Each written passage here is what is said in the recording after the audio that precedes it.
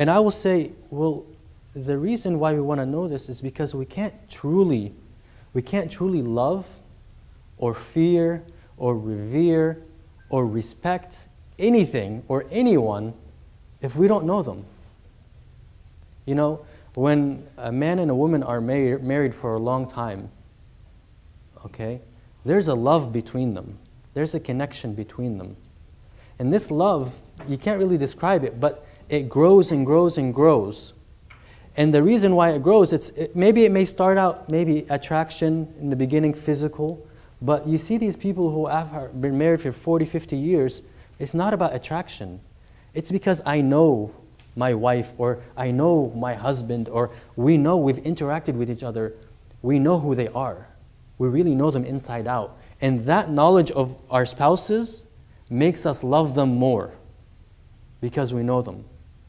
At the same time, if I'm walking in the jungle, I'm walking in the jungle and I see a snake, I know that snake is dangerous. I, I have that knowledge.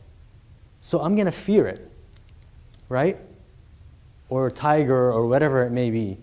If you see it like a venomous spider, you know, it's, you fear it because you respect it. You don't have to necessarily fear, fear it, but you respect it because you know it's powerful. It has some power that if it was going to bite you, it's going to hurt you.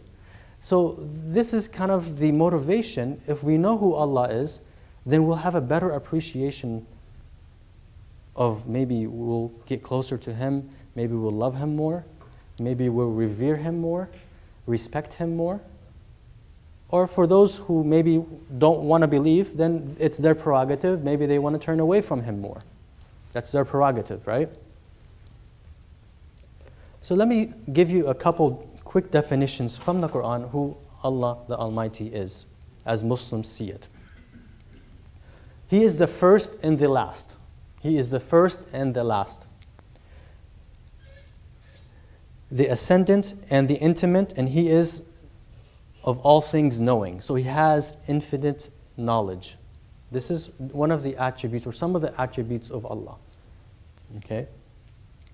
He is the creator of all that exists, and He is the owner of all that exists. So, looking at uh, some verses in the Quran, I'll read them in English for the sake of time, and I'll, I'll maybe get back to the Arabic if there is time. He is Allah. Other than Him, there is no deity, knower of the unseen and the seen, and the witnessed. He is the entirely merciful, especially merciful. So He knows everything, hidden and seen. Unknown to us, He knows it. He knows what's in our hearts. And He is entirely merciful, abundantly merciful. He is Allah, other than whom there is no deity, so our Creator. No statue can be associated with Him, no image, no creation. He is above His creation. The sovereign, the pure, the perfection, the bestower of faith, the overseer, the exalted in might, the compeller, the superior. Exalted is Allah above whatever they associate with Him. He is Allah, the Creator, the Inventor, the Fashioner. To Him belongs the best of names and attributes.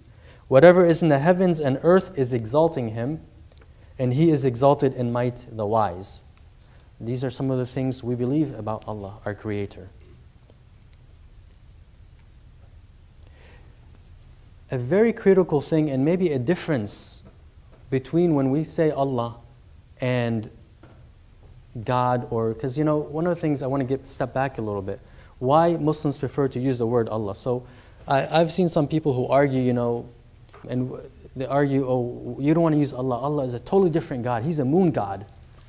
So you just have to smile about that. Seriously? That's all I got to say.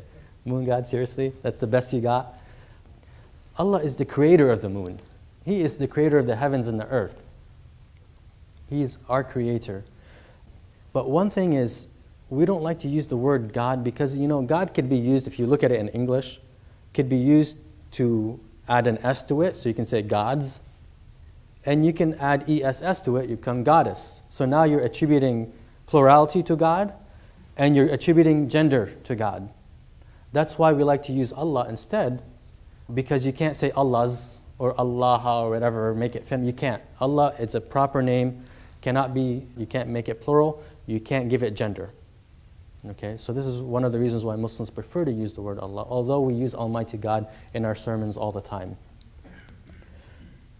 So, one thing is, when we talk about Allah subhanahu wa ta'ala, the exalted, the glorified, there's an attribute that's unique to the Muslims, and that is He does not get tired, He does not fall asleep. He is perfect, He is almighty, He doesn't need to rest. So, in a verse in the Quran, Allah is described Himself as Allah, there is no deity except Him, the ever living, the sustainer of all existence. Neither drowsiness overtakes Him nor sleep. He doesn't get tired. This is a definition of an almighty God. To Him belongs whatever in the heavens is in the heavens and whatever is on earth. Who is it that can intercede with Him except by His permission? There's no intercession. Unless He wills it, Unless He allows maybe a prophet or a messenger to come and intercede on our behalf, nobody can confront Him and intercede. He knows what is presently before them and what will be after them, and they, he, and they, will, they encompass not a thing of His knowledge except for that what He wills. His throne extends over the heavens and the earth, and their preservation tires Him not, and He is the Most High, the Most Great. He is the Most High, the Most Great. He is the Creator. And he tells us that he created everything from water. Allah has created every living creature from water. And of them are those that move on their bellies, and of them are those that walk on two legs, and of them are those that walk on four. Allah creates what He wills. Indeed, Allah is over all things competent. So He is our Creator. He creates everything. Everything, everything we see around us, He created it. This is just like Abraham. He knew He had a Creator. He created all these things, all human beings, all creatures. This is who, we be, who Allah is. He also created diversity and tolerance. He created us in different colors and shapes and forms to teach us tolerance and love for each other, and so that we can know each other.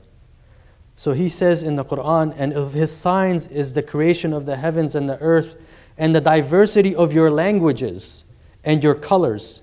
Indeed, in that are signs for those of knowledge. So it's something that he is proud of. That he created black, white, green, yellow, whatever you want to call it. He created us in a diverse, diverse. So there's no one race that's pure or superior over any other race. Unfortunately, history has, people have historically abused this, where they thought, you know, one race has evolved, if you will, more than the other. Therefore, they justified justified the oppression and the murder of other races and other nations, unfortunately. And some in the name of God, unfortunately. But Allah clearly tells us in the Quran no, this is something you guys should celebrate your diversity and your colors and your different languages. And He created everything from smoke as well. Then He directed Himself to the heaven while it was still smoke and said to it and to the earth, Come into being willingly or by compulsion. And they said, We have come willingly. So he ordered. This is something, if you, if you look at from the scientific perspective, the concept of the Big Bang Theory, how everything started from smoke. This is not in contradiction with what Allah tells us in the Quran. That something, there was some smoke, and Allah in space decided to order these cosmos to become, and Earth was formed, and everything else was formed. The stars were formed, and the planets were formed.